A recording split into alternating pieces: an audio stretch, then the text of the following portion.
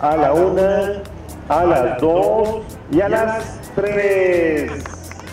El gobierno municipal de Toluca, encabezado por el presidente Fernando Zamora Morales, llevó a cabo la rehabilitación de la unidad deportiva del Cerrillo Vista Hermosa, espacio que beneficia a miles de personas del lugar, pues ahora cuentan con instalaciones dignas.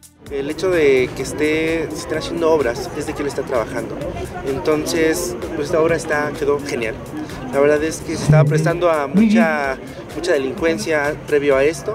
Los trabajos consistieron en la construcción de canchas de usos múltiples a base de concreto, pintura con esmalte, instalación de porterías y tableros de básquetbol, área de juegos y gimnasio al aire libre, además de un kiosco con teja de barro natural, entre otras acciones. Ahora dan las 8 o 9 de la noche y hay jóvenes jugando, niños jugando, una obra que quedó excelente, el alumbrado, el enmayado, todo quedó muy, muy, muy bien.